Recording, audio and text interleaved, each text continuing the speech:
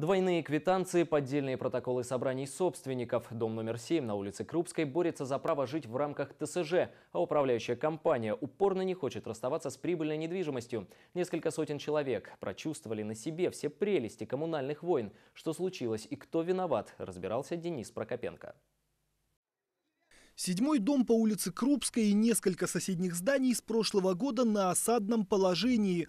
По всем фронтам квартир владельцев штурмует управляющая компания «Мурман-Сити».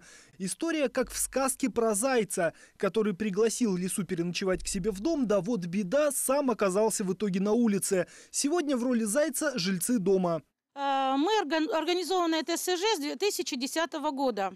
Да, худо-бедно, но мы работаем, и, в принципе, нормальная у нас ТСЖ.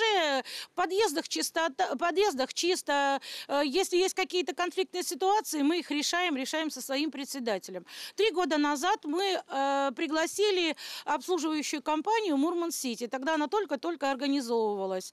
«Мурман-Сити» поначалу довольно-таки нормально взялись за работу. Прошел год, и отношение коммунальщиков поменялось. На заявки собственников жилья реагировать они перестали. Дом, по словам жильцов, начал приходить в упадок. Вентиля не вертится, вот это я поменять хочу. Они, хорошо, распишитесь, мы вам все сделаем бесплатно. Уже второй месяц пошел, все бесплатно делают. Я сказала, я вот у меня нога отказалась, после упала. Я говорю, я вот этой палкой башку разобью, я говорю, до конца, если только вы мне не сделаете по-человечески. Люди ждать, пока девятиэтажка окончательно придет в непотребный вид, не стали и решили от услуг Мурман-Сити отказаться. Но не тут-то было. Сотрудники управляющей компании провели собственное собрание и якобы получили подписи жильцов, которые в ТСЖ возвращаться не хотят. Вот только утверждают люди, подписи на протоколах поддельные. У нас есть э, ТСЖ «Северное сияние», мы в нем хотим и остаться. Нужно будет, мы заменим председателя. Нужно будет, мы сделаем все сами. Зачем нам обслуживая, э, зачем нам управляющая компания, которая к нам отношения никакого не имеет. И наши интересы нигде представлять не будет, мы это знаем. А недавно жители начали получать двойные квитанции. Еще в ТСЖ люди приняли решение перейти на прямой расчет с ресурсниками. Это и удобнее, и надежней. Однако Мурман-Сити так не считает. В результате в ноябре прошлого года квартировладельцы получали квитанции по оплате водоснабжения и отопления дважды. В декабре платеж платежки коммунальщики продублировали, но уже с долгами и пени. С ноября месяца платите нам и все. Ну как так, нигде ни решения, ничего нет. И мы теперь ноябрь не плачены, декабрь не плачены. Ноябрь платили туда еще, в ТСЖ. Пишут везде, развешают. Э, идите, бегите, просите, чтобы деньги вам обратно перечислили на их компанию. Да что над нами издевательство?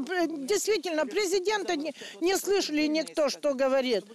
Базы данных, по которым Мурман-Сити рассылают платежные документы, судя по всему, устарели, а потому случаются совсем уж анекдотичные курьезы.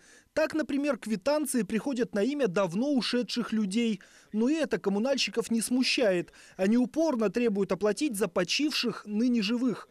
При этом ни ГЖИ, ни другие структуры избавить людей от коммунального абсурда не спешат. Жилинспекция, например, просто советует не платить по квитанциям до выяснения обстоятельств. Но ведь накопившиеся за время разбирательств долги никто не простит, уверены жильцы.